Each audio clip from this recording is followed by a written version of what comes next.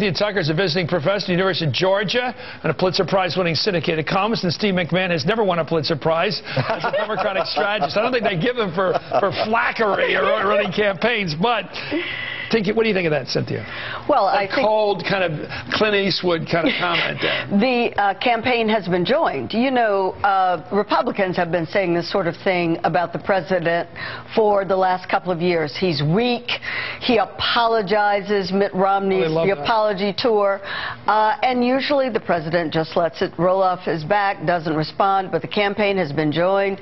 He's tough. He went right in there after them. He's not going to let any of these comments pass without taking them on. Well, he's kind of cool hand Luke there, and I just wonder whether we're going to see more of that because I think the people that watch this program, most of them are looking for that. Absolutely, and you know this is this is what John Kerry actually never did during the campaign. When the Republicans challenged his service in Vietnam, he never smacked him down like this. The Whose idea was that? Oh, I don't know. The president played this beautifully, though. This is a this is an area where Democrats traditionally, foreign policy and strength overseas, it's an area where Democrats traditionally don't have an advantage. Barack Obama has an advantage. Well, let's look at let's let's broaden this. Besides getting Bin Laden, he also sent that drone strike in to get that guy al-Awlaki. al-Awlaki. He yeah. also, uh, and I don't agree with a lot of this stuff, and I've said so. He doubled down and he doubled our forces in Afghanistan.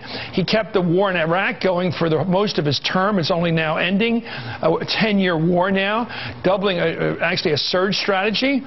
It is very And this difficult. China thing, we're starting to push the Chinese a bit. It is very difficult for the Republicans to take Barack Obama on on foreign policy because he's had so many successes. Uh, you can disagree with him about drone strikes, but he has taken out far more terrorists with drone yeah. strikes than President Here's Bush. a smart Republican. There are several out there, but here's Chris Christie warning the GOP candidates not to discount Obama in an appearance here uh, just last month. Let's watch the governor of New Jersey.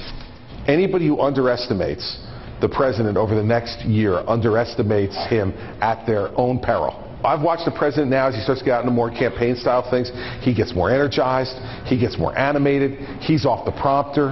He's, he's seemingly speaking from his gut.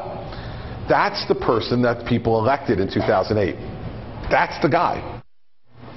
There's a guy talking about a guy. That's That's got exactly some of right. that testosterone in that room right That's there. That's exactly right. And you know, one of the things that people loved about Chris Christie, I didn't, but the Republicans did, was the fact that he had that emotive ability. And the president, we're beginning to see it now. You need, None of your business. It's, he's gone. He's gone from being the yeah. professor in the White House and the law professor and the scholarly person who's a very good interrogator of the facts to somebody who's out there on the campaign trail and you know, much I, better on the campaign. I can't trail. stand this knock that he's not pro-Israeli. All American presidents have been pro-Israel. We have to be pro-Israel and have to be the peacemakers over there. We have two jobs. Two jobs. we got to play both of them. The Republicans never admit we have the second job. But he's over there. He kept the Palestinian state through work in the UN from being named. I thought it was Absolutely. inevitable. For he gets no sake, credit for that. In, in Israel, he is regarded as a friend of the United States. He's also a friend of Israel. Uh, excuse me. In Israel, regarded as a friend of Israel. Absolutely. He's also stepping up the pressure on Iran in case Republicans want to tackle him on that. Uh, and I hope he doesn't know, step it up too much. anyway, he he is back on cue with uh, domestic issues, taking it to him over middle class issues. Okay.